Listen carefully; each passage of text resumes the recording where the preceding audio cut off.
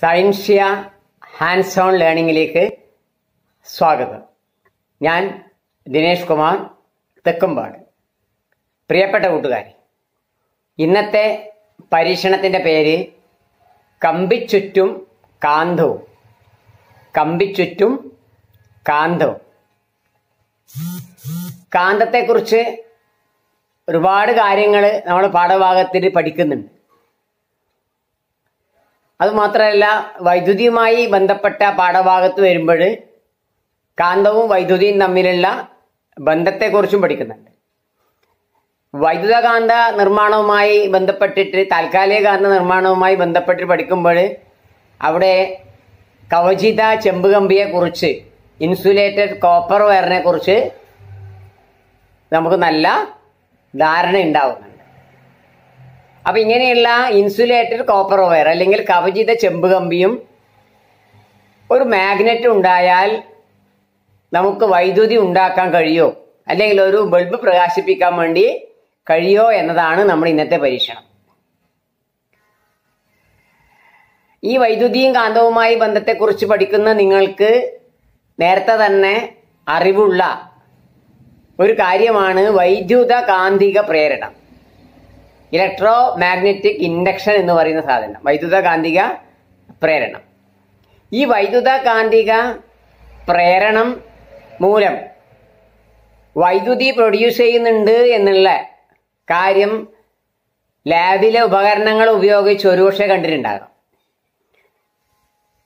അങ്ങനെയുള്ള കുട്ടികൾക്കും വീട്ടിൽ നിന്ന് തന്നെ കമ്പിച്ചുറ്റും കാന്തവും ഉപയോഗിച്ച് നമുക്ക് എങ്ങനെ ഒരു ബൾബ് പ്രകാശിപ്പിക്കാം?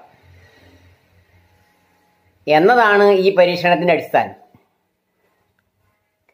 സാധാരണഗതിയിൽ പഠന അവസരത്തിലാണെങ്കിൽ ഒരു ബാർ മാഗ്നറ്റ് കമ്പി ചുറ്റും ഒരു കോയിൽ നമ്മൾ ഉണ്ടാക്കിയെടുക്കും.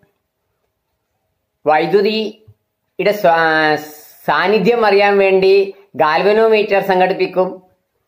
അങ്ങനെയാണ് നമ്മൾ അതിന്റെ ദിശ മനസ്സിലാക്കാനും അതിന്റെ മറ്റ്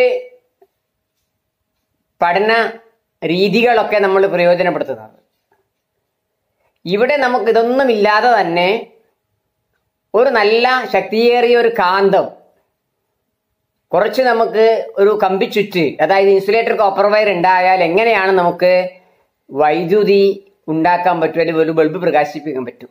ഇതിനു വേണ്ടി എടുത്തിരിക്കുന്നത് ഇൻസുലേറ്റർ കോപ്പർ വയർ ആണ്. അത് ഈ ലോഹ കമ്പിക്ക് നന്നായി ചുറ്റിയെടുത്തിട്ടുണ്ട്. നല്ല വണ്ണത്തിൽ തന്നെ ചുറ്റിയെടുത്തിട്ടുണ്ട്. അതിന്റെ ചുറ്റാനെടുത്തിരിക്കുന്ന ആദ്യത്തെ അറ്റവും ചുറ്റിക്കഴിഞ്ഞതിന് ശേഷമുള്ള അറ്റവും ഒരു എൽ ഇ ഡിയുമായി ചേർത്തിട്ടാണുള്ളത് എൽ ഇ ഡി. ഇതാണ് നമുക്ക് പ്രകാശിക്കേണ്ടത്.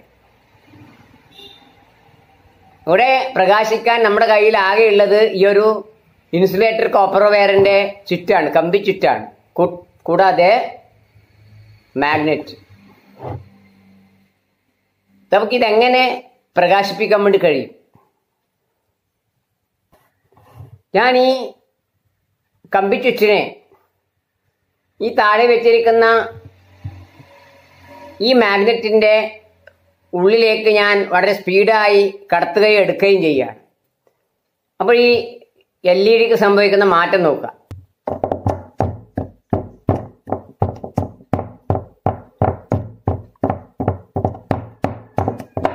കൂട്ടുകാർ കാണുന്നുണ്ടല്ലോ? എൽ ഇ ഡി പ്രകാശിക്കുന്നത്?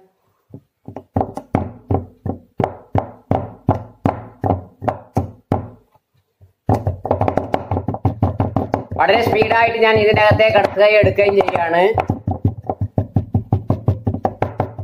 എൽ ഇ ഡിയുടെ പ്രകാശം കൃത്യമായിട്ട് നമുക്ക് കാണാൻ വേണ്ടി കഴിയുന്നു ഏറ്റവും എളുപ്പത്തിൽ ഈസി ആയിട്ട് ബാർ മാഗ്നറ്റോ കാൽവിനോമീറ്ററോ ഒന്നും ഇല്ലാതെ മറ്റ് ലാബ് ഉപകരണങ്ങളൊന്നും ഇല്ലാതെ ഹോമിൽ വീട്ടിൽ വെച്ച് തന്നെ ഒരു ശക്തിയേറിയ ഒരു മാഗ്നറ്റ് കരുതുക. ഇൻസുലേറ്റർ കോപ്പർ വെയർ കവചിത ചെമ്പ് കമ്പി കരുതിയാൽ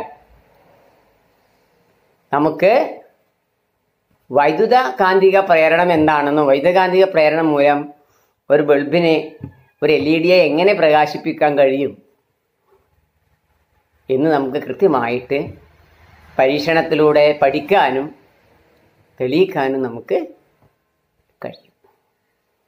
വൈദ്യുതി എന്ന് പറയുന്നത് വളരെ അപാരമായ വിശാലമായ ഒരു വിഷയമാണ്. വൈദ്യുതിയും കാന്തവും തമ്മിൽ ബന്ധപ്പെട്ട് ഒരുപാട് കാര്യങ്ങൾ നമുക്ക് പഠിക്കാനുണ്ട്. അതുമായി ബന്ധപ്പെട്ട് ഒരുപാട് ശാസ്ത്രജ്ഞന്മാർ.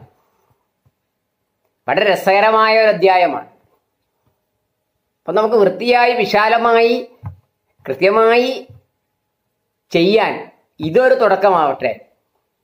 ഇപ്പൊ ലാബറ്റ് ഹോമിൽ നമുക്ക് ബാറ്ററി ഇല്ലാതെ അല്ലെങ്കിൽ മറ്റ് സാധ്യതകളില്ലാതെ കാന്തവും ചെമ്പുകമ്പി ചുറ്റും മാത്രം ഉപയോഗിച്ച് നമ്മളൊരു എൽ ഇ ഡിയെ പ്രകാശിപ്പിക്കുക ഇതിന്റെ അളവ് കൂടാൻ സാധാരണഗതിയിൽ നിങ്ങൾ പഠിക്കുന്നുണ്ട്.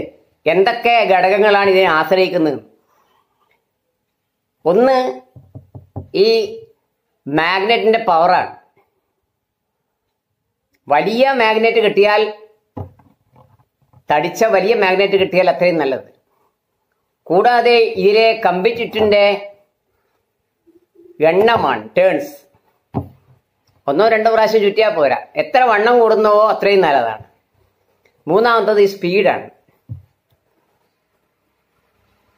കൂടുതൽ കാര്യങ്ങൾ അന്വേഷിക്കുക കണ്ടെത്തുക ചെയ്യണം വ്യത്യസ്തത ഉണ്ടാക്കണം. നന്ദി നമസ്കാരം.